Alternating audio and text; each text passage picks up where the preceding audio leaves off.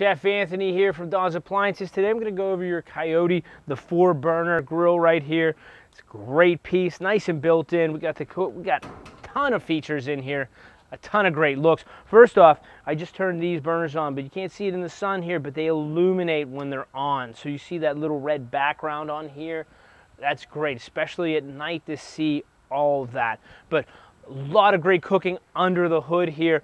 Great heavy um, um, lid door works out really well. Gives you a huge rack over here for your top storage, which I love, but it can be removed. We can put the rotisserie in, which comes to the back of that is really the ceramic infrared. That's great. So it's really gonna push that back heat on there. So you're gonna see that just that hot heat come right from that ceramic, really with that rotisserie basket or what rotisserie you're doing, it's really gonna receive that direct heat. Let's look under. I know we got a fantastic steak here. We did this on the high sear zone. If I move these two tortillas right here, we can talk about that.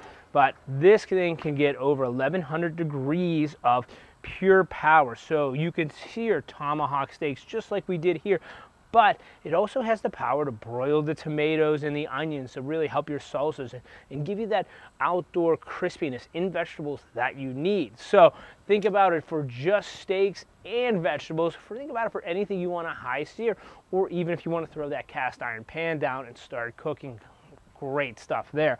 You see it's really raised up lower. The grates are great here too. So they give you a great spacing, not too wide so you won't lose a lot of stuff. We haven't really lost any vegetables in here and it gives you that handy opening just if you need to pull them out quick for a release. So you see that.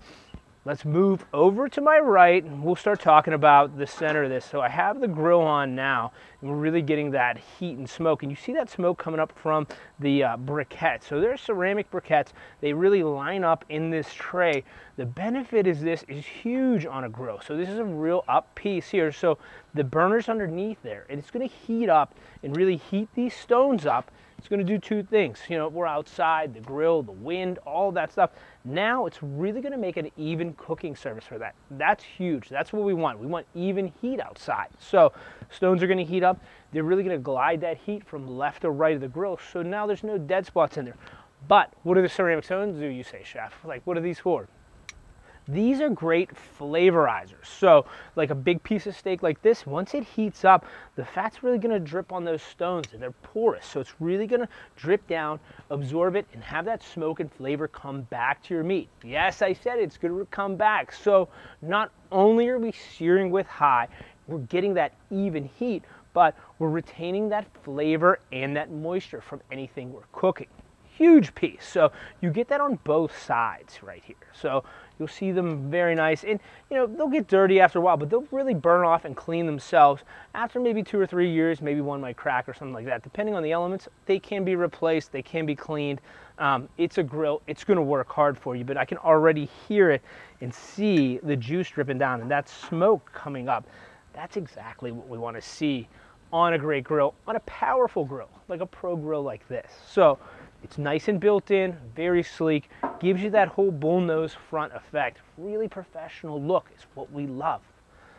So think about, you know, you could put eight, eight of these tomahawks on here. You could cook a dozen burgers and a dozen dogs. You know, here's the thing. The setup for this, that high sear finish over here will constantly have you rotating different food and different items to grill throughout. So think about this as, you know, a million opportunities, a million possibilities, but a ton of fun outside. Really a lot of arsenal in this Coyote 4 burner. So hope you enjoy this. I'm gonna finish cooking this steak and you know, see what other magic I can make on this grill. Hope you enjoy this one. Lid down.